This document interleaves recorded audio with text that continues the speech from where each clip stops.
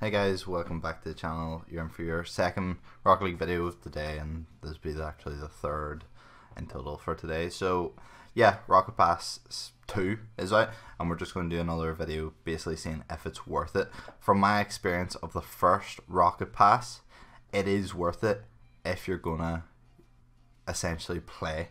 I can't remember what rank I got to, but when that spree of new games came out, I cut down playing Rocket League, but I do know I was I still felt like it was worth it.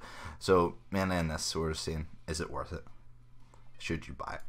So if you buy the premium Rocket Pass, first thing you're getting straight off the bat is the Artemis, which is actually a pretty crazy looking car. Um, I'm more I like the more realistic design of cars. Obviously, it completely comes down to yourself, but this looks quite cool. Next, you're getting this tier two or for tier 2 you're getting this pretty cool banner. You're going through you're getting pretty nice boost. Obviously the free ones are here as well so I'll try and include them. Um, obviously if you have the game you're able to go on and look at these. So you get a 10% part XP boost. The XP boosts are pretty okay. That's quite cool there like old Nintendo or PlayStation style what's this a drone okay drone one that's pretty cool um, meh them wheels are quite nice. That antenna, hmm, not sure. So yeah, you can kind of see. I don't remember if there was a key or anything at this point before. Oh, Quasar. That's sick. One, I can't wait to see the better version of this. So this one you get your first key back. So let's see how many keys there is just out of interest. So there's one, I'll count the decryptor as well. One, two, three, four, five, six, seven, eight, nine, 11. So 11 if you get the whole way to rank 90. Obviously the items itself are... They count towards a lot of this as well. Um, but yeah, you do get... You pretty much will get back into cryptos and stuff alone. That there's just me, like, kind of counting the worth itself. So I'm just going to flick through the rest of these items and see what we think. And waves look like something like Black Ops 3. Not liking them. Train engine, that's quite cool. That's a bit shit. There's some decals for like speed demon like that. Some decals that are just for certain cars at this point. Uh, them wheels are quite cool.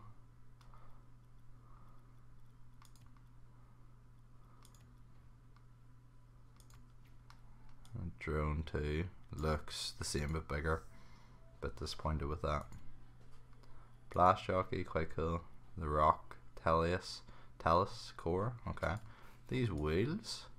Okay, if you make a nice design car, that'll be quite cool.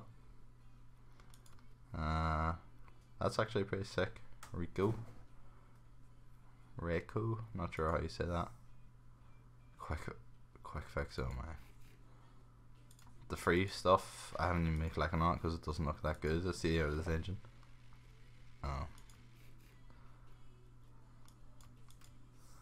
There's a couple of really cool things so far, but nothing jumps out. They look like other wheels in the game. What is this? It won't show me it probably, but medallion. I think it's just got the whole bunch of round kind of designs on it. The collector, there's that.